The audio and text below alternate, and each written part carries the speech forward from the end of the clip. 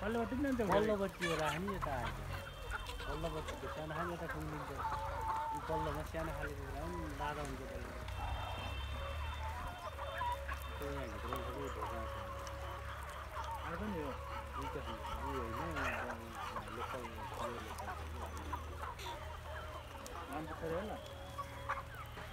त्यो नि एक डेढ केजी त छ। होला? है त्यो भित्रको त। त्यस्तै हो।